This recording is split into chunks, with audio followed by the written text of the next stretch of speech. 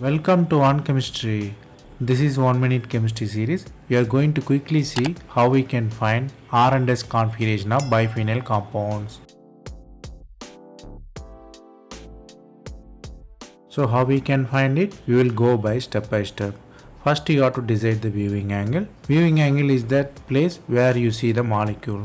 Then you have to choose the priority for front side atoms to the back side atom. Then you have to apply the CIP rule. Later you go with CIP rule that is with atomic number. Then you have to find the orientation. Clockwise mean it is R, new name P.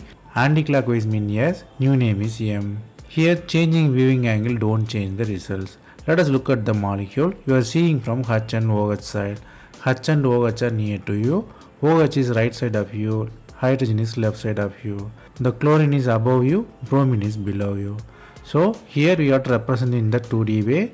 That is thicker line is front side. Thin line is back side. In thick line hydrogen is left side. OH is right side. So you have to give priority 1 and 2. Then chlorine above. Bromine below. Bromine gets higher priority than chlorine. So 3 and 4. If you find the orientation is anti-clockwise, that is S, or you can say M. The important point you should note here is front hydrogen even get higher priority than chlorine and bromine.